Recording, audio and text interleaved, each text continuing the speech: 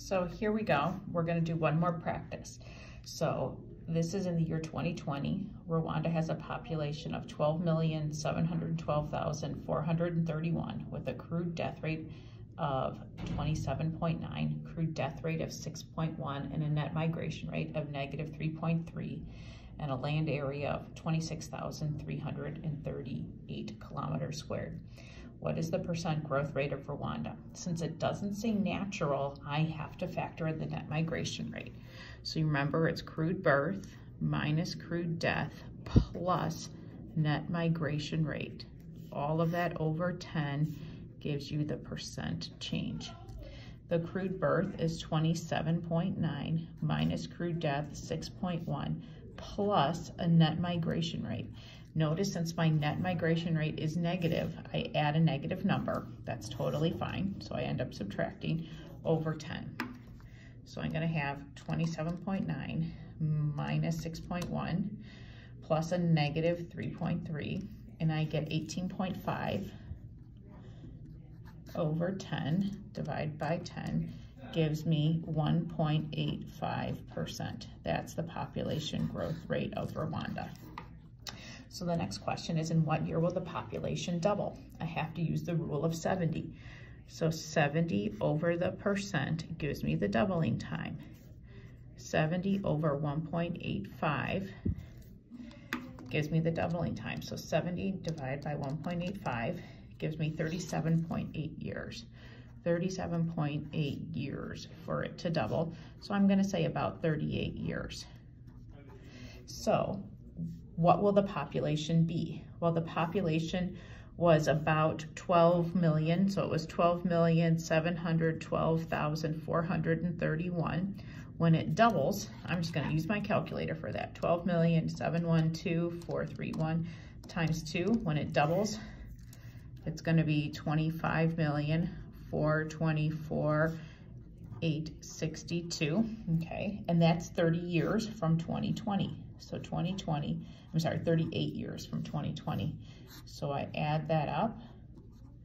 And so in the year 2058, the population of Rwanda, if it continues growing at its current rate, will be 25,424,862. Obviously, you could we can do some rounding and things, but again, we have the specific numbers, so we're just going to use them. The next question then says, continuing with this idea of doubling, when in what year will the country quadruple? Or what year will the population quadruple?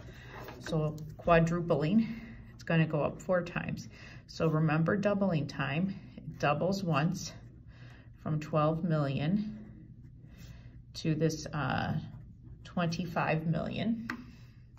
Then if I double it again, so times two, I'm going to go to fifty million eight four nine seven two four. Okay, that's right there on my calculator. So, and this is a quadruple. It doubles and doubles again. So times two times two, which is a quadruple times four. So this is what the population will be when it quadruples. When will that happen? This was the year 2020. So I add my 38 years, and this is the year 2058. If I add 38 years again, so I take 2058 and I add 38 years more, I get 2096. So in the year 2096, the population will be this a little bit over 50 million people. 50 million 849,724. Again, assuming things aren't changing, which they always are, but this is a way to estimate. Next question then says, what will the population of Rwanda be in 2021? This is just a percent problem. So percent over 100 equals part over total. Since I know it's growing at a percentage rate of 1.85, I can now use that as the percent over 100. And how much will it grow when the population is this 12,712,431?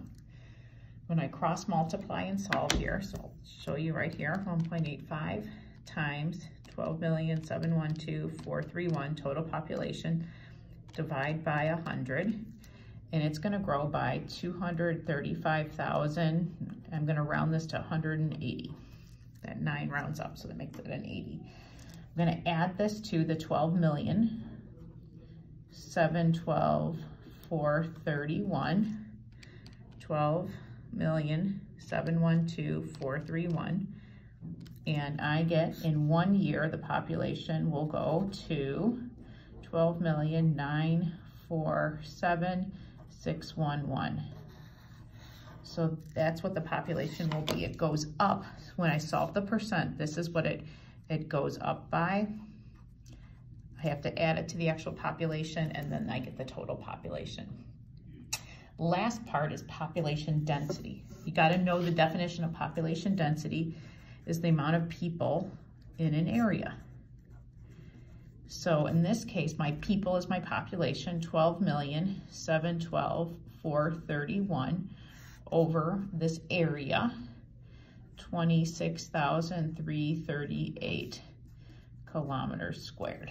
So I'm gonna divide that out.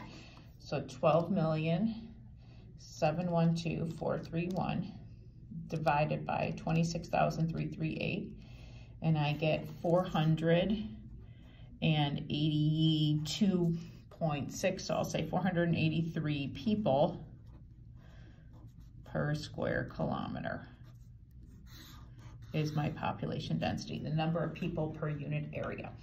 So what do you have to know for each of these problems? Again, we go back to this idea of percent here for population growth because it's growing at a percentage rate.